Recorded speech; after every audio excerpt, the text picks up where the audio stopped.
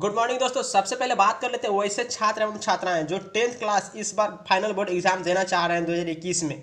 तो उन सभी स्टूडेंटों के लिए गुड न्यूज़ है दोस्तों कि आपका साइंस से जितने सारे चैप्टर से क्वेश्चन पूछे जाते हैं, उसका इंपॉर्टेंट क्वेश्चन हर एक वीडियो के माध्यम से हम प्रोवाइड करते रहेंगे। उसके लिए आपको इस चैनल पे बने रहना होगा। अगर चाहते हैं कि आप टेंथ क्लास का रेगुलर क्लास करें तो इस चैनल पे बने रहना होगा चैनल को सब्सक्राइब करना होगा। तो आइए दोस्तों वीडियो को स्टार्ट करते हैं, क्योंकि इस वीडियो के अंदर इलेक्ट्रिसिटी से इंपॉर्टेंट क्वेश्चन प्रोवाइड करने वाले हैं। तो उसके लिए वीडियो को शुरू से लेकर अंत तक बने रहिएगा, तभी जाकर के आपका एक एक क्वेश्चन अच्छी तरह से याद हो जाएगा। तो आइए दोस्तों वीडियो को स्टार्ट करते हैं, लेकिन उससे पहले आप सभी को बता दें, इस चैनल पर पहली बार जुड़े तो चैनल को सब्सक्राइब करें लाइक करें और अपने दोस्तों के साथ शेयर ज़रूर करें। तो दोस्तों, पहला नंबर प्रश्न आप सभी यहाँ पे देख रहे हैं। कि निम्न में से कौन अर्धचालक नहीं है? अर्धचालक है दोस्तों इसमें बताया गया अर्धचालक वो वर्ड लिखा गया है गलत उससे कोई दिक्कत नहीं है। बोला जा रहा है निम्न में कौन अर्धचालक है? सबसे पहले आप सभी को बता दें दोस्तों कि निम्न जैसा ही बोल दिया जाए क्वेश्चन में तो आपको सिर्फ़ ऑप्शन से मतलब रखना है। तो इसका राइट आंसर जो होगा ऑप्शन नंबर सी हो जाएँगे। क्या हो जाएँगे? पारा। अर्धचालक कौन है?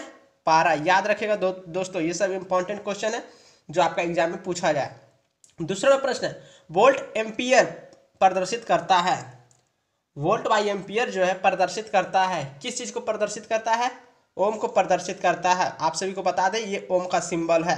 जी हाँ दोस्तों, आप सभी को बता दें कि जो भी छात्र छात्राएँ जो इक्कीस का फाइनल बोर्ड एग्ज़ाम देना चाहते हैं, वो रेगुलर क्लास कर सकते हैं इस चैनल के माध्यम से। तो दोस्तों, तीसरा नंबर प्रश्न है, विद्युत प्रतिरोध का मात्रक है। विद्युत प्रतिरोध का मात्रक क्या है? ओम है। प्रतिरोध, यानी कि रोक, रुकावट। प्रतिरोध मतलब होता है रुकावट। तो उसका right answer option number C, ohm हो जाएँगे। जी हाँ दोस्तों, जो भी स्टूडेंट पढ़ना चाहते हैं रेगुलर उसके लिए चांस पे बने रहना होगा। चौथा नंबर प्रश्न है, विद्युत धारा का मात्रक होता है? विद्युत धारा का मात्रक होता है। क्या होता है? एम्पियर। राइट आंसर डी हो जाएँगे, एम्पियर। चलिए आगे देख लेते हैं। देखिए, पांचवा नंबर जो प्रश्न बोला जा रहा है, एक, दो और तीन, ओम के तीन प्रतिरोधों को श्रेणी क्रम में जोड़ने पर समतुल्य प्रतिरोध होगा। समतुल्य प्रतिरोध पूछा गया है। जी हाँ दोस्तों, समतुल्य प्रतिरोध जो होगा, वो होगा छः ओम। कितना ओम होगा? छः ओम। राइट आंसर डी हो जाएँगे। जी हाँ दोस्तों, एक एक क्वेश्चन अगर आप याद करते हैं तो आपका कंसेप्ट क्लियर हो जाएगा, जिससे आपका मैट्रिक एग्ज़ाम आसानी पूर्वक निकल जाए। तो देखिए, छठा नंबर जो प्रश्न बोला जा रहा है विभवान्तर का एस आई मात्रक क्या है? विभवान्तर का एस आई मात्रक बोला बोला गया है। तो विभवान्तर का एसआई मात्रक क्या है? बोल्ट है। राइट आंसर डी हो जाएँगे। विभवान्तर का एसआई मात्रक बोल्ट चलिए, देख लेते हैं। अगला क्वेश्चन देखिए, सातवां नंबर जो प्रश्न बोला जा रहा है, विभव का मात्रक है।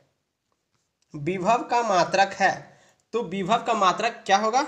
बोल्ट होगा। राइट आंसर बी हो जाएँगे। दोस्तों एक एक क्वेश्चन याद कीजिए कंसेप्ट क्लियर हो जाएगा।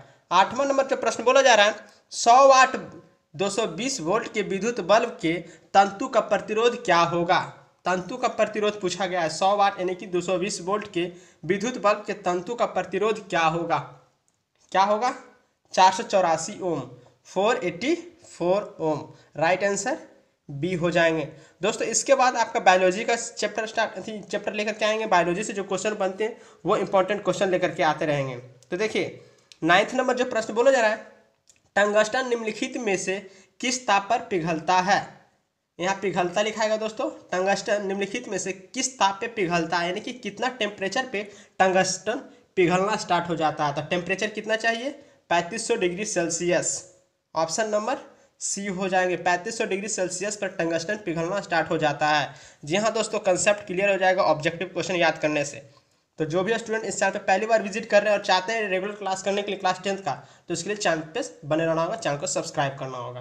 तो देखिए, दसवें नंबर प्रश्न बोला है, विद्युत शक्ति का मात्रक है। यहाँ विद्युत होगा दोस्तों, विद्युत शक्ति का मात्रक है। तो विद्युत शक्ति का मात्रक क्या है? वाट। राइट आंसर डी हो जाएँगे। विद्युत शक्ति का मात्रक वाट। ग्यारह नंबर प्रश्न बोला जा रहा है, प्रतिरोध का ऐसा मात्रक क्या है? प्रतिरोध। अभी हमने बताया दोस्तों, प्रतिरोध का मतलब क्या होता है? तो प्रतिरोध का जो एसआई मात्रक है, ओम है। राइट आंसर डी हो जाएँगे। दोस्तों एक एक क्वेश्चन याद करते चलिए।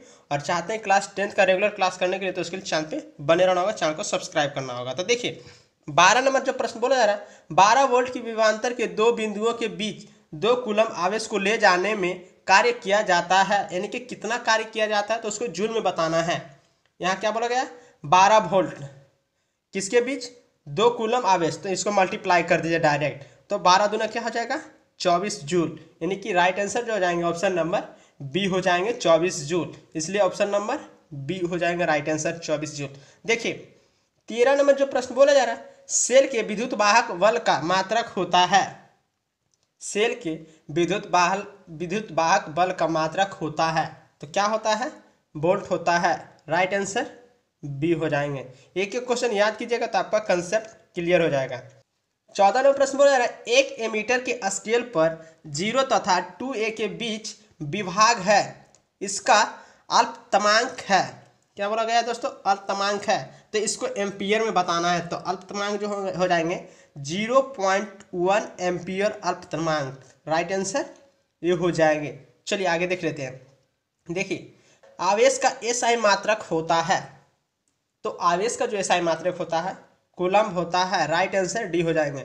दोस्तों साइंस से जितने सारे चैप्टर बनते हैं, उससे इंपॉर्टेंट क्वेश्चन हम हर एक वीडियो के माध्यम से प्रोवाइड करते रहेंगे।